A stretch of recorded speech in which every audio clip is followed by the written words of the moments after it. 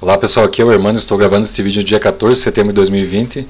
Vamos trabalhar com criptografia e certificação digital, com foco na ferramenta OpenSSL. Neste vídeo nós vamos trabalhar com o algoritmo AES, assim uma, uma compreensão em mais alto nível, né? o AES é o Advanced Encryption Standard. É, a ideia do AES foi uma foi uma ideia do NIST em 1997, em que eles lançaram ali uma chamada é, para o AES, ou seja, a ideia era fazer um novo algoritmo de criptografia que viesse a substituir a Odessa e as, e as suas, e também até, imagino ali para para é, deixar de lado aquelas teorias de, da conspiração e ter ali uns algoritmos concorrentes, né, que pudessem vir a substituir o DES como algoritmo padrão aí para criptografia de dados e uso na internet. Em 1998 houve 15 candidatos. Em 1999, cinco candidatos foram selecionados. Em 2000 foi selecionado o algoritmo Rindel.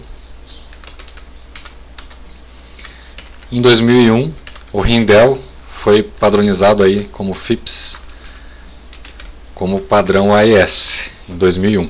Então, se nós temos um documento FIPS aqui, a gente pode pesquisar e consultar esse documento. Então, nós temos aqui o FIPS do AES, é o FIPS número 197 de novembro de 2001. Então, em 2001 aqui nós temos o padrão AES do FIPS. Quero achar aqui o nome dos autores do algoritmo vencedor, né, que venceu a, é, foi o selecionado aí para padrão da internet. O nome do algoritmo, na verdade, é a junção do sobrenome dos autores, Rindel. Vamos pesquisar aqui o nome dos autores, está na referência deste arquivo, referência 3 e 4.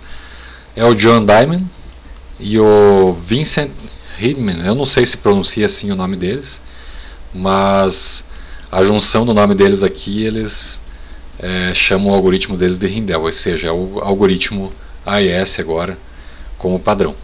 O algoritmo AES, eles, o Rindel, ele se tornou o padrão da um dos o algoritmo mais importante de criptografia hoje.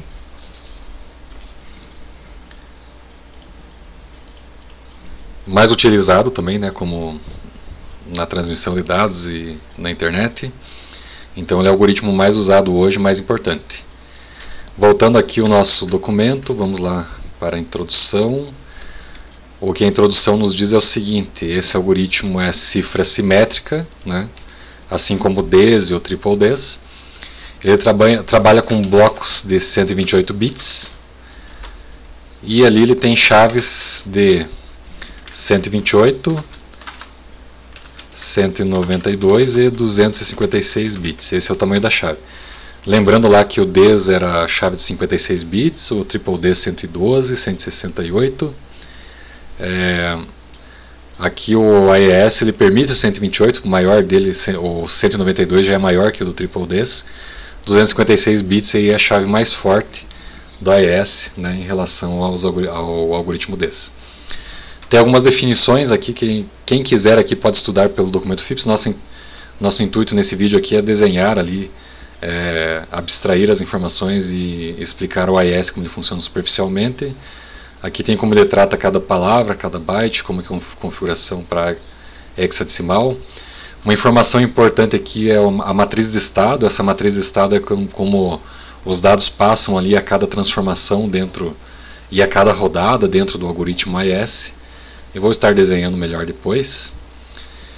E aqui como funciona, como, quais são as questões matemáticas do algoritmo. E estamos no, no algoritmo agora. Aqui temos uma tabela importante nós temos os três AES aqui como as três chaves AES em formato de tabela. Então vejo que o AES 128 é uma chave de 128 bits. Como que eu sei aqui há quatro palavras, cada palavra aqui representado nesse documento, nessa tabela, é chamada de palavra de 32 bits. Então 32 bits, 4 vezes 32, então eu tenho o tamanho da chave que é 128 bits. 6 palavras de 32 bits, 192 bits. Temos o AES 192. E 8 palavras de 32 bits nós temos o AES 256, 256 bits na chave. O tamanho do bloco é 4 palavras. 4 palavras 32 bits são 128 bits. Então veja que o bloco aqui é igual para as três chaves, né? Então o bloco aqui é então o bloco 128 bits, né? Para os três para os três tamanhos de chave. E por último, aqui na última coluna, é o número de rodadas. Então, para o AES 128 são efetuadas 10 rodadas. Para o AES 192 são efetuadas 12 rodadas, né? E para o AES 256, 14 rodadas. Quanto mais rodadas ali, um pouco mais um pouco compromete um pouco mais a performance do do, na hora de decifrar um bloco de mensagens. Beleza, como que funciona a criptografia? Aqui para baixo nós temos descrição melhor do algoritmo, que é feita a troca de, troca de bits, como que, é, como que são feitas troca de bytes, troca de palavras. Mas são basicamente são quatro, quatro funções aqui a cada rodada. Nós temos os subbytes, o shift rows, mix columns e add round key. É, o subbytes é substituir bytes, então é uma transformação ali, substituição simples de bytes. Shift rows ali é deslocamento de linhas, então na hora que formam as linhas ali elas são des, é, deslocadas para a esquerda para a direita, depende da, de como está definido o algoritmo. Mix columns ali é mesclar as colunas.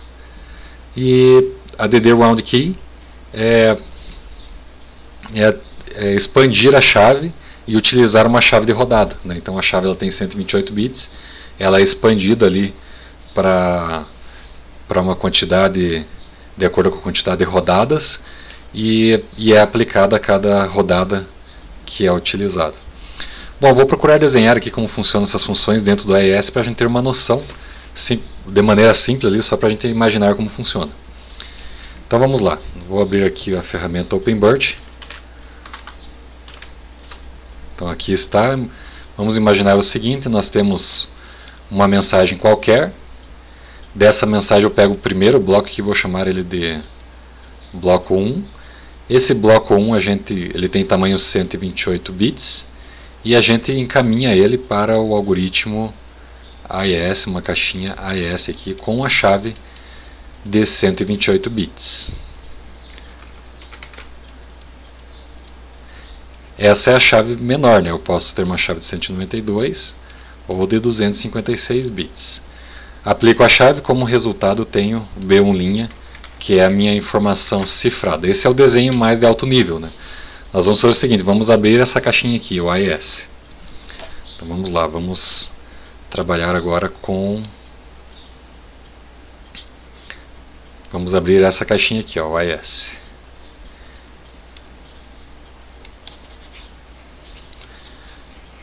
Abrindo o AES, nós temos o seguinte.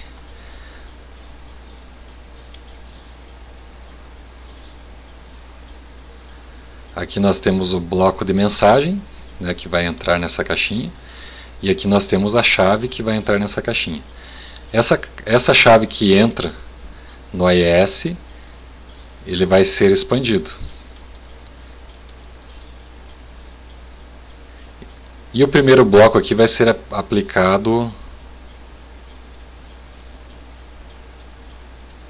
com a primeira chave de rodada aqui. Vai ser aplicado aqui no primeiro bloco. E daí que entramos para a rodada 1. Isso aqui vai até a rodada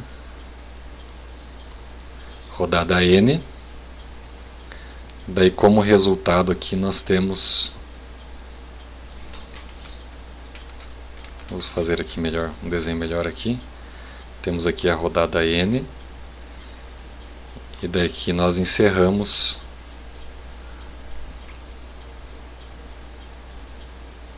encerramos com o B1 linha. Aqui em cima eu errei, só corrigindo aqui para não perder o vídeo, né? Então entra o bloco 1 e sai o bloco 1 cifrado, certo? Tem a chave aqui, beleza? E aqui cada chave de rodada é aplicada em cada rodada, até chegar aqui na rodada N. Então aqui nós temos várias rodadas. Aqui a quantidade de rodadas depende da chave. Então, por exemplo, aqui se for se a gente usar a chave 128, são 10 rodadas. Se usar 192, são 12 rodadas. Se usar o 256, são 14 rodadas, certo? Então aumenta duas rodadas na medida em que aumenta a chave. Mais uma vez aqui nós temos um desenho de alto nível apenas, né? então a gente está vendo aqui como que funciona cada chave, é, como que funciona a caixinha das chaves de expansão de chaves e como que funciona cada rodada. Agora aqui eu vou abrir essa caixinha de rodada, eu vou procurar fazer no mesmo desenho aqui só para a gente compreender de maneira mais superficial. Vamos ver. Aqui nós temos um key round aplicado aqui, certo? Uma função de key round. Nada mais é que um shor com a chave e o bloco 1. O resultado, que é a matriz de estado aqui, ele vai passar por três processos dentro da rodada 1. Então são três processos aqui na rodada 1. Então nós temos aqui a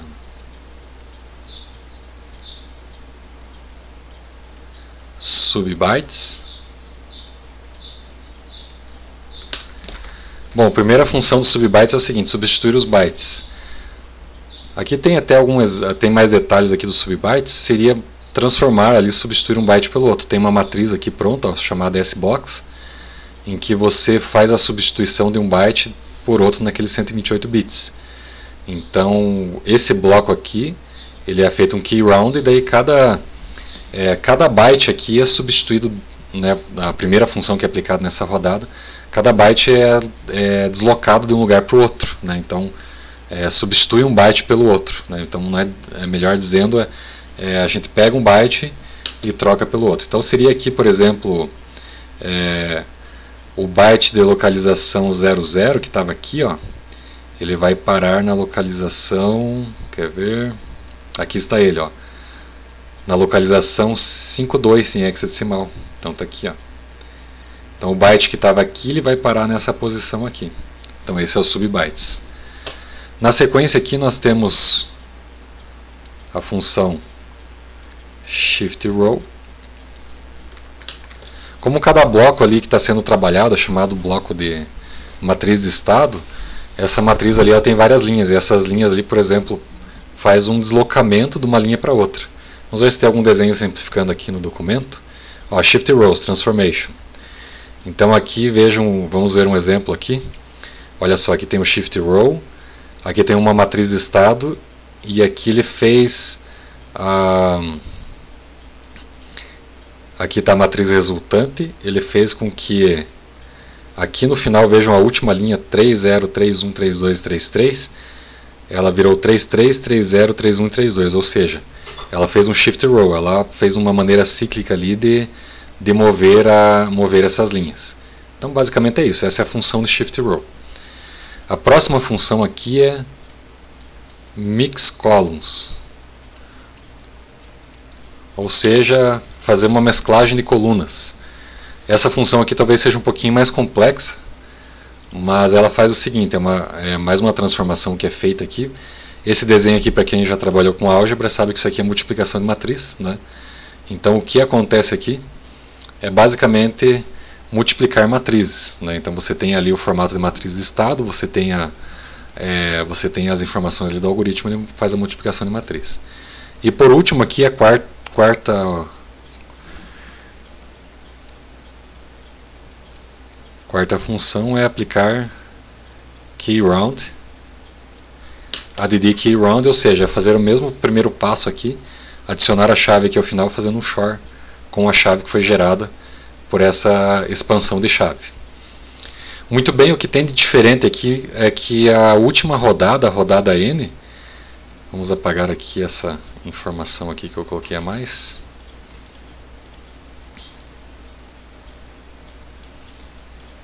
O único diferencial com o demais aqui das caixinhas do, do é que assim, ó, aqui tem as quatro funções, na verdade ela tem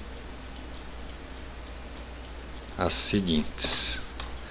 Ele tem aqui subbytes, shift row, mix columns e key, add key round. Então aqui são as quatro funções. O que acontece aqui na última rodada, seja ela décima, décima segunda ou décima quarta, de acordo com a chave, é que aqui não tem, não é aplicado o mix columns nessa última, certo? Beleza, pessoal? Ah, basicamente é isso, a ES na parte teórica. É, continuo explicando ali no próximo vídeo. Obrigado pela atenção. Já, a gente já faz uma, mais uma parte prática com a ES aí. Valeu, obrigado, até mais.